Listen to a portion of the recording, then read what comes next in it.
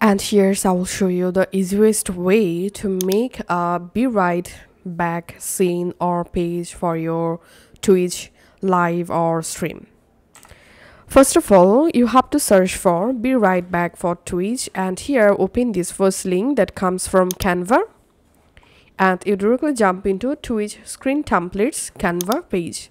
So these websites provide lots of free attractive Twitch templates. You can just go ahead and pick any of them to customize according to your needs. In my case, I'm selecting this template and clicking on customize free template and it may ask you to sign in just go ahead and sign into your canva account it's completely free and here we can see the template preview. Now it's time to customize this template. So i'm just selecting the text and typing here be right back.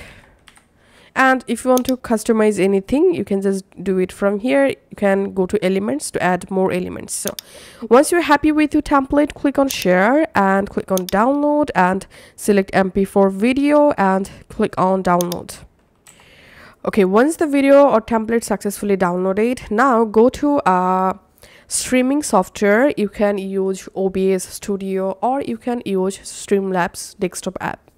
So once you are uh, streamlabs under scene here you get the source panel. Just click on this plus icon and here source select media file and click on add source.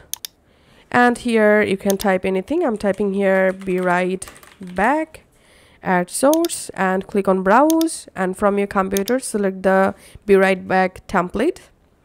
And must enable this loop option. And you can adjust the scene uh, or video speed here then click on close. And here we can see the be right back template add date. Now all you have to need i'm clicking on go live. And here i'm just turning on twitch and clicking on confirm and go live